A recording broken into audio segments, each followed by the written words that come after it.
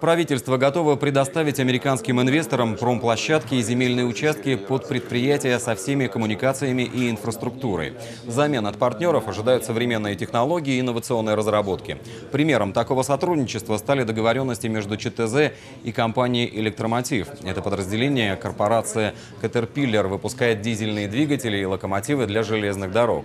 Сейчас решается вопрос о создании совместного предприятия с передачей американских технологий южноуральцам. Еще один крупный инвестиционный проект будет реализован в Низепетровском районе. Там может быть построен очень крупнейший э, горно-обогатительный комбинат и горно-металлургический комбинат. Как раз вот сейчас вот компания Тетротех, она занимается разработкой бизнес-плана реализации данного проекта. Кроме того, в Штатах Михаил Юрьевич обсудил с представителями автомобильной компании «Навистар» возможность размещения ее производства в Челябинской области.